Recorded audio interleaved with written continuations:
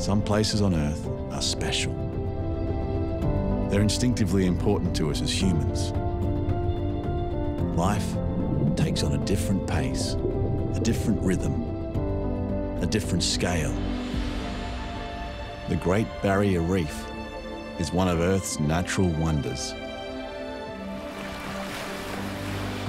It's hard to believe that the largest living structure on the planet could be built by something so minute. Life flourishes in astonishing diversity.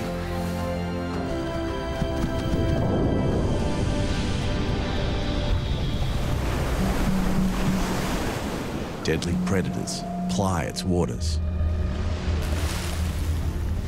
And sometimes, disaster strikes. The Category 5 cyclone has unleashed its fury on North Queensland. For the humans that live here, work here, and explore here, life is shaped by the forces of nature.